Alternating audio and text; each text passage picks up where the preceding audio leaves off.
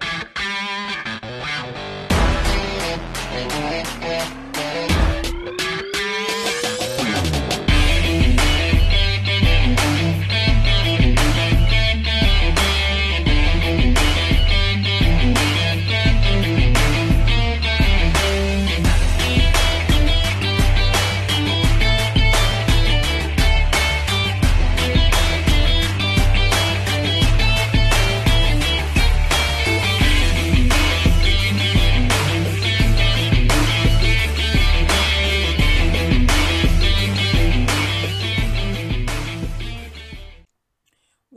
NRL Fanatics here back today with a video and this is going to be my NRL tips for round 2.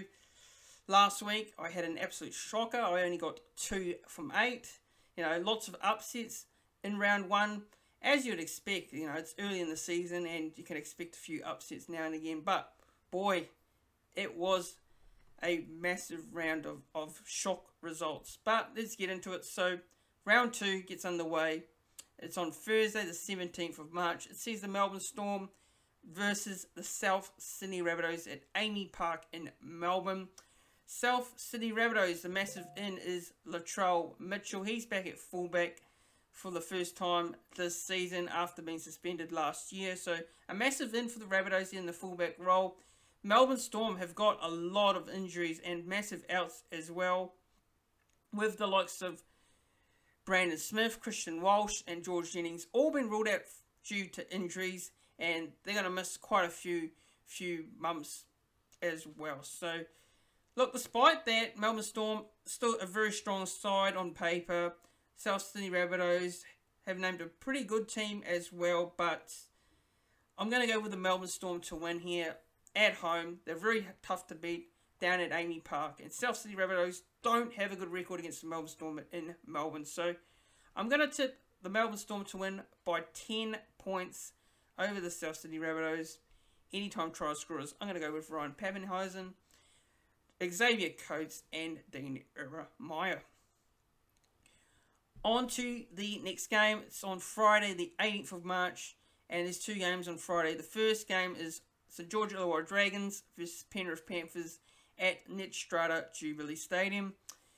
St George Illawarra Dragons coming off their victory over the Warriors in round one at Sunshine Coast Stadium last Saturday.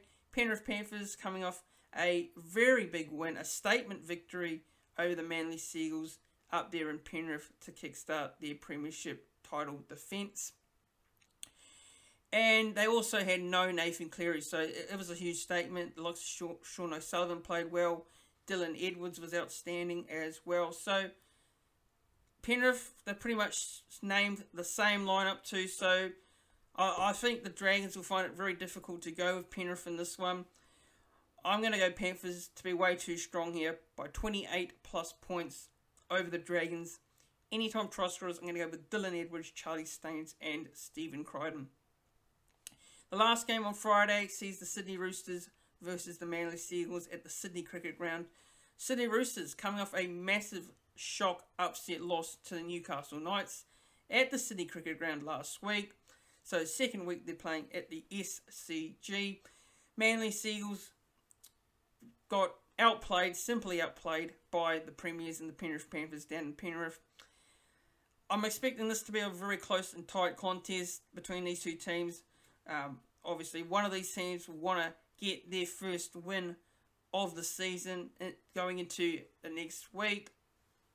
So I'm going to go with the Roosters by six points. Anytime try scorer, I'm going to go with Daniel Tupou, Reuben Garrick, and I'm going to go with Tommy Turbo to score this week, even though he had a quiet game against Penrith.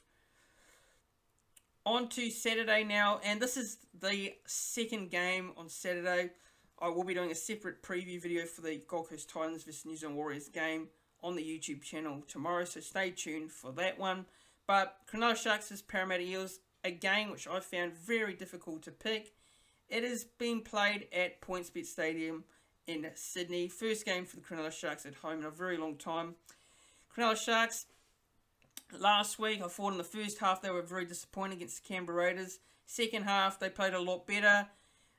They were coming back into it. They had a field goal by Matty Moylan. I thought they were going to go on and win, but not to be. For Parramatta Eels, against the Gold Coast Titans. That was a very high scoring game.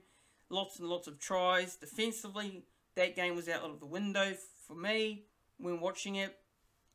Parramatta, you could say they were very fortunate to get away with that result, but I thought they were the better team in general. Now, I'm going to go and tip the Sharks here to win by four points. It's a game that could go either way. It could go to golden point. You know, could be a couple tries in it, but I've gone with the Sharks to win by four. Anytime try scoring, I'm going to go with Sione Katoa, William Kennedy, and Matt Ikuvalu. The last game on Saturday sees the North Queensland Cowboys versus the Canberra Raiders, and this has been played at the Queensland Country Bank Stadium in Townsville.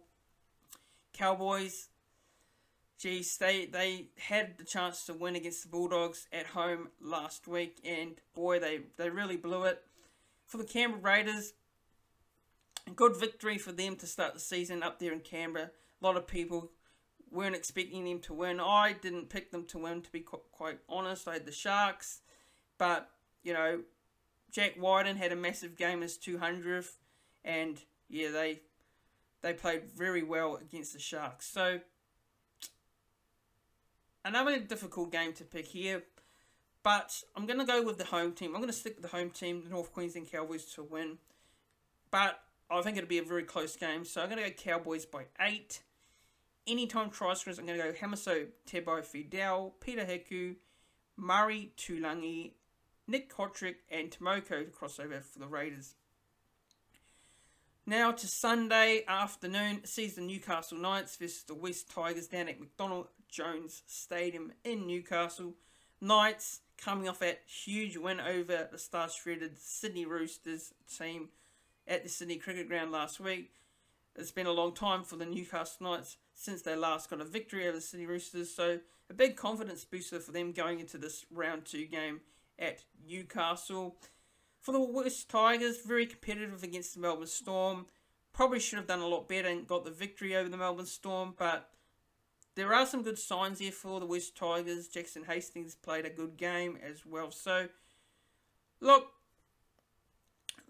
this game always points to a Newcastle victory because they're at home, but this would be typical of Newcastle after the first week. Getting a, a surprising result, then the next week, you know, they lose to someone like a West Tigers. So it would not surprise me if Newcastle, you know, went down to the West Tigers in this game. But in saying that, I'm going to stick with Newcastle. I'm going to tip them to win. And I'm going to pick them by 12 points over the Tigers. Anytime try scorers, I'm going to go with Dominic Young, Dane Gagai, and Enari Tuala. Now, the last game to round off round two of the NRL sees the Canterbury Bankstown Bulldogs versus the Brisbane Broncos. This game has been played at Sydney as well. Um, for the Bulldogs, very ugly result against the Cowboys up there in Townsville, but it's two points nonetheless, and it's, and it's good to go to Townsville and get that result. For the Broncos, 11-4 victory over the South Sydney Rabbitohs up there at Suncorp Stadium. Brisbane Broncos, I thought their defence was outstanding, and um, yeah, it's probably been the best defence they've ever had in, in a long time. So, look, they probably could have scored a lot more tries against South Sydney Rabbitohs, in my personal opinion, but I think in this game, I'm going to go with the Broncos to win, and I'm picking them to win by 14 points over the Bulldogs. And any anytime try score, I'm going to go with Selwyn Cobbo, Xavier, uh, not, not Xavier, sorry, I mean Corey Oates and Herbie Farnworth to score in this game. Now that wraps up my NRL tips for round two. I'll just repeat my tips for those of you who missed them. So Melbourne Storm by 10, um, Penrith Panthers by 28, Roosters by, by 6, Sharks by 4, Cowboys by 8, Knights by 12, and the Broncos by 14. But don't forget, if you're new to the channel and you haven't already, make sure you hit that subscribe button down below. Click the like button on the video as well. Click the thumbs up. Click the bell so you don't miss notification when I go live on the YouTube channel next and when I upload a new video. And uh, thanks for watching. I'll see you all in the next video.